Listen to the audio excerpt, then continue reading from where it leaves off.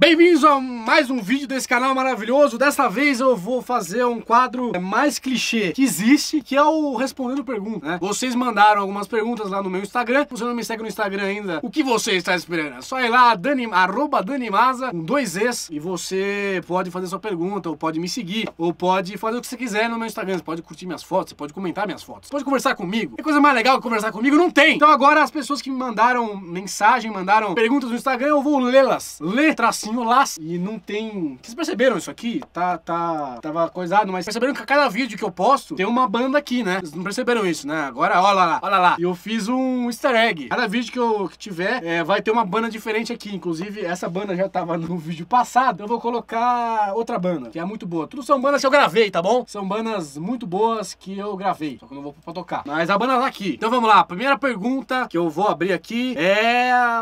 Ó, a pergunta do. Puta, o cara não deixa nome, o cara deixa STTIPP, que é o Thales. A primeira pergunta é do Thales, que ele perguntou o seguinte: Como deixar o bumbo com mais punch barra ataque possível?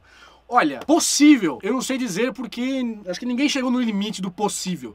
Vai existir algo mais possível. Mas, cara, basicamente para você ter mais punch, o que, que, eu faço? É equalização. Geralmente é equalização e compressão. O que, que eu faço no equalizador? Vamos começar pelo equalizador. É legal você não deixar o bumbo e o baixo na mesma frequência, o grave do bumbo e o grave do baixo na mesma frequência. Geralmente eu coloco o bumbo lá pros 50 Hz e o baixo lá pros 80. Eles são próximos, mas não, não vão, não vão colidir entre si na mixagem. Então eu costumo deixar um, um coisinha assim, ó. Não deixa aquela onda da mix, da, da, do equalizador assim, mas deixa um que um coisinho assim, nos 50 Hz. Isso vai dar aquele, aquele grave que você sente, assim, pá, pá, dum, faz o boom, você sente, assim. É, tira os 200 Hz, 250, 300, por aí, depende do bumbo, que é um médio meio chato, que ele dá aquele, tó, parece uma caixa de papelão. Então tira essa caixa de papelão, que geralmente é de 200 a 300 Hz. Então tira isso aí, faz aquela...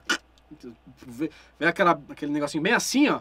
Aí você põe pra baixo para baixo, assim, que ele vai eliminar essa frequência. Para você ter mais kick, que é aquele, que aquele, sabe? O kick, que é o, é o, agudinho, vai nos 2.500 Hz. Geralmente tá nessa, nessa faixa aí de, de Hz, que é o kick do bumbo. O resto, de 2.500 pra lá é ruído, é merda, é coisa que você não precisa. Então, 2.500 lá, coloca aí essa, essas, três, essas três coisinhas que você precisa, essas três frequências que você precisa pra equalizar um bumbo legal. É o grave, tirar o médio e colocar agudo. O grave coloca o 50, tira os 200, 250, 300 do, do médio, coloca 2.500 que vai ficar show de bola. Na compressão, eu costumo colocar é, o ratio em mais ou menos 5 para 1, que é bastante compressão, né? Tem gente que usa 10, tem gente que usa pra caralho, mas 5 para 1 é legal, se você, se o cara toca bem, se o cara toca relativamente bem, o 5 para 1 tá bom, que não tem muita variação, né, entre um bumbo e outro. É, 5 para 1 tá legal, o thrash hold vai depender. Coloca essa porra aí que vai ficar, vai ficar show. O thrash hold tenta colocar, sei lá, em menos 3, por aí. Quando ficar batendo menos 3 lá, você vai ver, né, o, o compressor ele entra, né, em, em, ação e vai ter, ele vai comprimir, sei lá, 3 dB ou 6 dB, sei lá, entre, entre 3 e 6 ali ali, se ficar, se ficar no 6 tá legal, assim, mas entre 3 e 6, assim, na hora que, que bater. Aí não, não destrói muito o seu, seu... O compressor ele vai destruir seu áudio, né? É isso que ele vai fazer. Vai pegar os, os, picos e vai achatar. Então ele vai achatar, vai destruir seu áudio. Então, primeira pergunta respondida, como ter um bumbo com mais punch. É, coloca o, o equalizador antes do compressor, tá? Por favor. Segunda pergunta, do, do Vi, o Vi do, da Mitril, ele perguntou se vale a pena trocar um olho esquerdo por uma caixa da Edifier. Não, Vi, não, não compensa não. Não compensa não, porque você precisa de um olho esquerdo. É isso.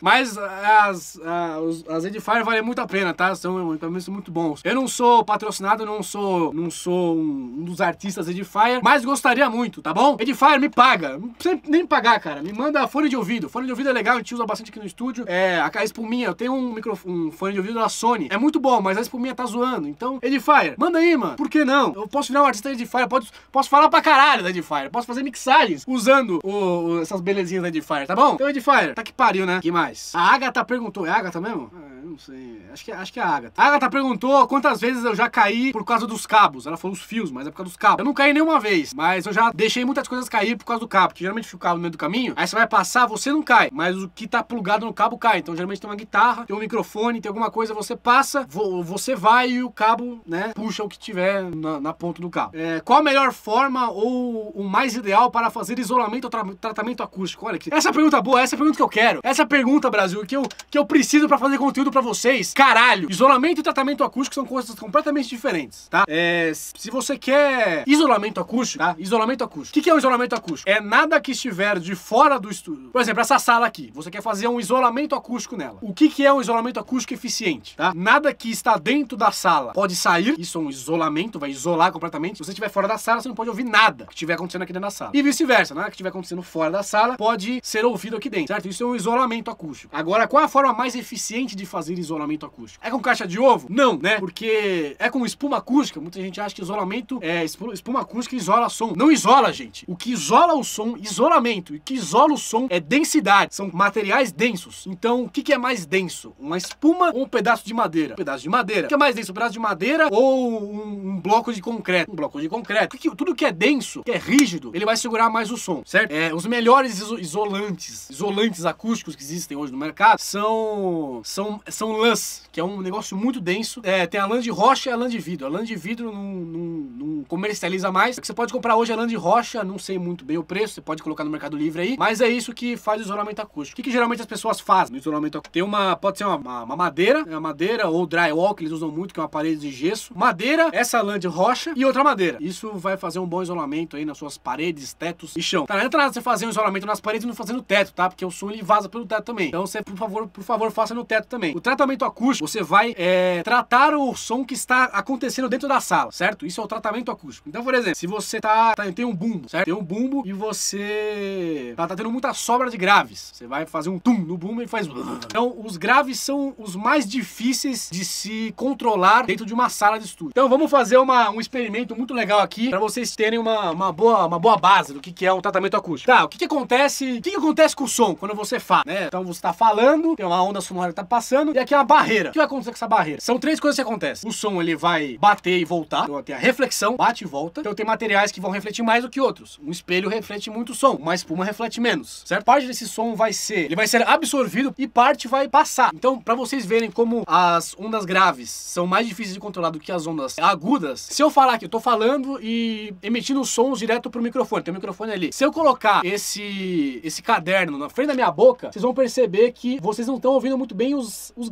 os, agudos, né? Porque os agudos eles são mais fáceis de controlar. Então, isso aqui já controla muito bem os agudos. Só que você está ouvindo muito mais grave a minha voz, certo? Porque não tem agudo. Então, é muito difícil você controlar os graves. Então, geralmente você precisa de uma, um estudo de acústica para você saber exatamente o que fazer com a sua sala, onde que vai ficar cada coisa, onde vai ficar uma bateria, onde vai ficar as suas, seus monitores de áudio, onde vai ficar uma, um monitor de microfone, onde você vai gravar a voz, para você ter o melhor é, aconchego acústico e tratamento acústico possível. Então, essa é a melhor forma. Resumindo, vamos resumir. É, forma ideal para você isolar acusticamente. Materiais densos, use materiais densos para isolar a sua, a sua sala. É, dê uma pesquisada na, na forma de. Ah, forma, acho que é uma forma de, de isolamento que se chama box in the box. Na real, você tem um, uma caixa, né? Uma caixa, que é um quarto, e você vai construir um quarto dentro de um quarto. Então você vai fazer é, por aqui, por exemplo, tem uma parede aqui, aqui, aqui, aqui, no teto e no chão. Então você vai fazer um outro piso e outras paredes e outro teto. Que vai ficar. E nesse, nesse meio aí, você vai colocar lã de, de, de, de rocha, sacou? É mais ou menos isso. E o tratamento acústico, você precisa realmente estudar acústica, entender quais materiais que, que vão absorver melhor o seu som ou que vão refletir melhor o seu som. Às vezes você não quer refletir o som, às vezes você quer refletir o som, às vezes você quer absorver o som, às vezes você não quer. Existem materiais para absorver melhor os graves, existem materiais para você absorver melhor os agudos, os médios, enfim, você precisa estudar. Estuda, estuda que você vai saber. Ou contrata alguém que sabe, um cara que é, que é foda em, em acústica, ele vai saber fazer um tratamento de som legal para você. Então é isso aí. Ó, o Pedro H, Pedro H, é, ele perguntou qual é a dificuldade de ser um produtor tão lindo. Vai tomar no cu, vai. Pô, pergunta merda, mano. Você é produtor tão lindo, tô tentando fazer os negócios legal aqui, tá bom, é engraçado, mas porra, né? Dificuldade, ah, é, é difícil. Tem vezes que o, o, músico vem aqui e fala assim: Nossa, não quero gravar com você, eu quero chupar sua. Muito boa essa pergunta, tá respondido. É, vamos lá. Como, ah, essa pergunta é muito boa. Como conseguiu os seus primeiros trabalhos é, com produção musical? Os primeiros trabalhos, pra você conseguir seu primeiro trabalho, você precisa fazer outros trabalhos de graça. Começa de graça. Faz trabalho de graça. Não, que, não vem com esse negócio de tipo, ah, mas eu fizer negócio de graça, meu, o meu, meu valor é zero. Porra, você tá começando. Seu valor é zero. Você tá começando no mercado, você não sabe nada. Seu valor é zero. Não, não tem nada colocar preço num bagulho que você não sabe. Então vai lá, pega a banda do seu amigo. Quer começar? Faz assim, ó. Comecei, ah, tô fazendo faculdade, tô fazendo um curso de produção musical. Eu quero começar a trabalhar com isso. Então o que, que você faz? Primeiro, primeiro passo, você tem que ter um amigo. Você tem um amigo. Então tem um amigo. Um amigo músico. Você tem um amigo músico, mais difícil. Você tem, tem que ter um amigo músico. Ele pode ser músico sertanejo. Sertanejo pode, ser uma, pode ter uma banda, que é mais difícil. É, então pega um músico sertanejo, um amigo seu que, que, cante sertanejo. Se você vai, sei lá, na, na Faria Lima, você encosta uma árvore e cai cinco cantores sertanejos. Você vai lá, pega um. Deu cinco, caiu, você pega um, você fala assim, ó, vou te produzir. Eu não, eu não tenho não tenho material, é, eu preciso de portfólio, então eu vou produzir uma música sua, ou um CD seu, ou um EP seu, foda-se, e eu não vou te cobrar nada. Mas, em compensação, eu vou ter portfólio. Pode ser, o resultado não vou te garantir que vai ficar o melhor do mundo, porque eu estou começando, é meu primeiro trabalho. Então, você fecha essa troca, o cara fala, fecha. Aí você vai lá, grava o cara, de graça, faz o trabalho, você vai ter que ter comprado o microfone, nem eu falei. Primeiro vídeo do, do, dessa série maluca aí, tem o, tudo que você precisa. Tem um computador, interface de áudio, microfone, fone de ouvido, caralho. Você vai ter que ter comprado essas porra. Então é investimento. Primeira coisa, você vai lá, grava o cara, aí gravou, tal, entregou, muito bom. É, talvez não tenha ficado muito bom, do jeito que você, que você espera. Mas é o primeiro trabalho, então vai ficar meio merda mesmo. É normal. Meu primeiro trabalho foi uma merda, o primeiro trabalho de, do, sei lá, do, do Rick Bonadil foi meio merda, o primeiro trabalho do cara que produziu Slayer foi meio merda. Então é natural que o seu primeiro trabalho seja meio merda. Mas, com esse primeiro trabalho, você vai atrás de uma pessoa que pague. Não muito, mas vai pagar um preço mais ou menos, que é o mínimo que você precisa. Então você vai falar, ó, você vai lá na Faria Lima de novo, bate numa área, vai cair mais cinco cantores sertanejos. Aí você pega um cara, pega um cara lá dos cinco, você pega um de novo e fala assim: Opa, tudo bom? Eu sou produtor e eu vi que você trabalha com música sertaneja e eu vim oferecer é, uma gravação pra, pra, pra sua música. Eu sou um iniciante, então por isso eu cobro mais barato. Não vai fazer de graça dessa vez. Vai cobrar mais barato. Você vai cobrar, sei lá, cobra 200 conto, cobra 300 conto pro cara pra fazer a música pro cara. É um preço meio ridículo, mas né, você tá começando. Só que a diferença dessa pra outra vez, você vai ter um portfólio, rapaz. O cara fala assim, mas o que, que você gravou? Como é que eu posso saber se seu trabalho é bom? Você vai ter o que mostrar, você fala assim, ó, eu gravei essa música aqui, entendeu? Fala, isso aqui que você vai ter, esse é o resultado. Aí vai, mano, aí vai. Aí você, volta na, na, na, na Faria Lima e você vai batendo em árvore. Cada vez que você tiver, se você é na terceira vez, já tem um portfólio de dois artistas. Se for na quarta vez, tem três artistas. E por aí vai, entendeu? Então é assim que você começa o trabalho. Faça trabalho de graça. Trabalha de graça que você vai ter portfólio. Com portfólio você consegue vender. É isso aí. Ah, outra, outra, outra pergunta aqui. Da. Puta, não consigo ver o nome das pessoas, mas tá. Indica cursos online para ter uma boa base. É claro que eu indico um curso online. Eu estou produzindo um curso online. Então, o melhor curso online de produção musical, de home studio que você vai ver na sua vida é o que eu tô produzindo. Eu tô, tô, tô fazendo. Então, agora vão, vão ser aulas online. Eu falando com a câmera, vai ter uma produção muito melhor. Vai ter um monitoramento de áudio. Eu vou fazer coisas muito mais legais. Então é isso. O melhor curso de produção musical é o que eu vou lançar. Então, fique esperto aí que eu vou lançar um curso de produção musical. Próxima pergunta: Quais os principais equipamentos para iniciar um home studio? É, eu fiz um vídeo sobre isso, sobre os equipamentos, os cinco melhores, os cinco equipamentos principais, cinco ferramentas principais para você começar a, a, a, trabalhar no seu home studio. Puta, vê lá, mano. Não vou repetir o bagulho aqui, mas basicamente é um computador, um programa de, de, de áudio que chama DAW, é Digital Audio Workstation. Você precisa de uma interface de áudio, você precisa de um microfone e um fone de ouvido. Fone de ouvido ou, ou monitor de áudio. Uma monitoração. Essas cinco coisinhas que você precisa, tá bom? É, vê lá o meu, meu vídeo lá, que são as cinco coisas que você precisa pro seu, pro seu home studio. E deve estar na, na descrição ou no link aqui em cima. E, e assiste lá, que é bem, é bem detalha, de, detalhadinho. E você vai, vai sanar todas as suas dúvidas, tá bom? É isso aí. Ah, e qual a melhor marca? A melhor marca é o que o seu bolso pode pagar. Se você quiser comprar coisas da, da Behringer, que tem a fama de ser uma marca meio merda, cara, compra coisa da Behringer. É o que o seu microfone. É o que o seu microfone. É que o seu bolso pode pagar. Você compra coisas da Behringer. Compra um, uma interface da Behringer, compra um, um, fone de ouvido da Behringer e um microfone da Behringer. E um, sei lá, um monitor de áudio da Behringer também. Compra tudo da Behringer. O que você pode pagar. Começa com uns negócios meio merda. Aí você vai ganhando dinheiro, aí você compra um negócio melhor. Entendeu? É isso. Vai, é, é, uma, é um ciclo. É que nem, que nem eu falei aí do, de, de, de vender, de vender música, de você começar seu trabalho. Começa de graça, com valores pequenos, você vai aumentando o seu valor. Uma coisa você compra, você compra um bagulho com um valor pequeno, vai conseguindo mais dinheiro, você compra uns bagulho com, que tem um preço maior, entendeu? É isso aí. É, você conhece o Neto Sheffer? Não, não conheço o Neto Sheffer. Eu vou colocar agora o Neto Sheffer eu vou fazer um react do Neto Sheffer. Quem que é Neto Sheffer? Vamos lá, Neto Sheffer. Errei a senha do meu notebook. Neto Sheffer, tá muito quente Vamos lá, Neto, Neto Sheffer. Blog Nejo. O que que é blog? Mano. Ah, Neto Sheffer, tá bom. Neto Sheffer. É... Vídeos do Neto Sheffer. Ele tem quatro vídeos no canal dele. Porra, o que que é esse aqui, mano? Jorge Matheus. Quem é esse cara? Retrospectiva 2018 do Neto Chef. Pelo que eu entendi, o Neto Chef ele é um produtor musical. Não, não conheci ele, não. Vou, vou pesquisar sobre. Mas eu prefiro o James Teixeira. O James Teixeira é o cara que faz todas as mixagens de show, de DVD, de, de tudo. Do Gustavo Lima, do Wesley Safadão, de todos esses caras foda. Então, mano, o, o, James Teixeira é o cara. Desses, desses, desses, essas músicas meio bunda assim, eu prefiro. James Teixeira é o cara. Na moral, pesquisa esse maluco aí que ele é foda. Próxima pergunta. Como você começou? Quero começar fazendo faculdade, mas estou bem perdido sobre. Faculdade. Chegamos no assunto mais polêmico de todos aqui. Faculdade. É, eu odeio faculdade. Eu odeio faculdade. Eu fiz faculdade, não me graduei, eu fiz duas faculdades, não me graduei em nenhuma das duas. Só que não foram de áudio, foram de, de TI. Eu não indico faculdade. Nenhuma. Nem a Embi Murumbi, nem a não sei, não sei quais que tem curso de produção de áudio, mas MB Morumbi eu não gosto. As pessoas que eu conheci que fizeram MB Morumbi é, não tem conhecimento legal, é tudo, não, go não gosto, não gosto, não gosto, nenhum, nenhum. Você aprender pelo YouTube, você aprende mais. Talvez você não saiba mais, mas você vai ter resultados melhores do que se você aprender pela MB Morumbi. Não conheci ninguém que fez curso na MT. A MT é uma escola de música e tecnologia. Eu aprendi bateria lá. Eles têm um curso de produção musical, no qual eu conheço dois dos, dos professores de lá, que é o Dogão, que trabalha no estúdio Fusão. Olha só, Dogão, estúdio Fusão. E o Fernando Quezada, que era o ex-baixista da Noturna. Esses caras são bons, eu gosto muito das produções dele, mas não sei como é que são eles como professores, tá? Então, a minha primeira indicação é para você que quer aprender, vai no IAV, mano. IAV, Instituto de Áudio e Vídeo. IAV é a melhor escola de áudio que existe no Brasil, tá bom? Todo mundo que eu conheci que fez IAV é foda, é muito foda, é muito foda. Você vai aprender desde o, sei lá, do básico, o que que é um, o que que é som, o que que é, o que que é uma onda sonora, até os cálculos para você saber qual a diferença de um delay e de um reverb. E isso se dá, é a mesma ferramenta, mas isso se dá a distância que a onda sonora está,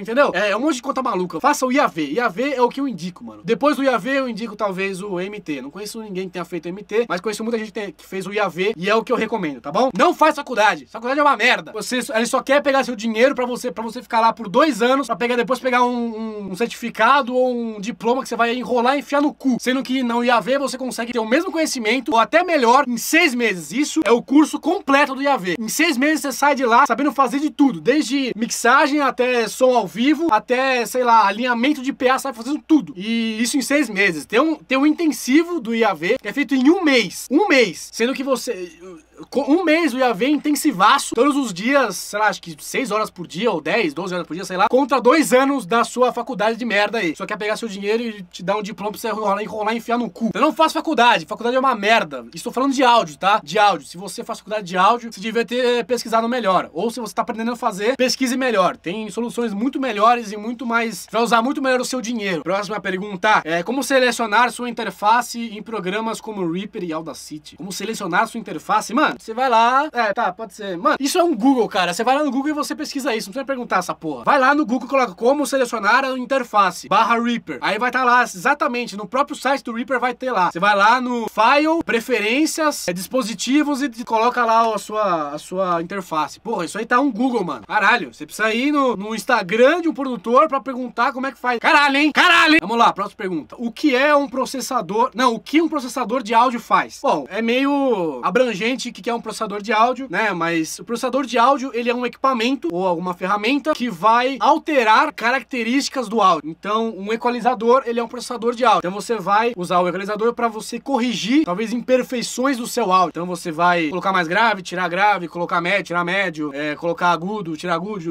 agudo, enfim. É, o equalizador é um processador de áudio. O compressor é um processador de áudio. Você vai processar o áudio. São equipamentos que você usa para manipular o áudio. Então, um compressor, ele serve para você meio que achatar o áudio, né? Tem várias formas de você achatar o seu áudio, mas basicamente o que ele faz é achatar seu áudio, é pegar os picos do, do da sua onda sonora e achatá-las um pouco, certo? Um pouco ou muito, enfim, depende do, do que para que você vai usar. Então isso é um processador de áudio, é um, é um equipamento, uma ferramenta que você usa para manipular o áudio. Próxima pergunta. Pergunta do, do Eric, Eric MA06. Ele perguntou, ele falou assim, vontade de cagar. Cara, se você está com vontade de cagar, eu vou até finalizar o meu vídeo com esta pergunta maravilhosa. Se você tem vontade de cagar, cague. Bom, cague. E aproveite e você pega você e sua bosta, você caga, olha pra sua merda, pega e era com a mão e você pode ir à merda, tá bom? Então é isso, espero que você tenha gostado desse vídeo. É, clica no sininho, clica no, no, no, no gostei, se inscreve, compartilha esse vídeo com seus amigos que também tenham as mesmas dúvidas, ou talvez tenham as mesmas dúvidas que o pessoal aqui do, do meu Instagram teve. Se você não me segue no Instagram ainda, tá lá, arroba Danimasa. Se, se segue lá, que tem muita coisa legal. E, e é isso aí, um beijo, tchau. Olha, rimou muito legal, um beijo, tchau.